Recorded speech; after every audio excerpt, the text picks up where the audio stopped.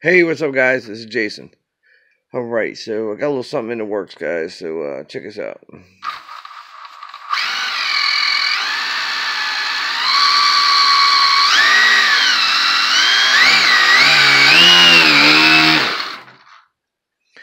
All right, guys. So yeah, we're gonna get this thing going down the road. See how fast it's gonna go.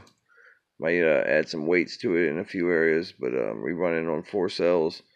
Uh, this is a uh, 3660 4300 kV motor. So um, yeah, if I get a long enough straight uh, straight away, this thing will fly. So we'll see. All right, guys. Make sure to uh, tune in for that next video. See y'all later.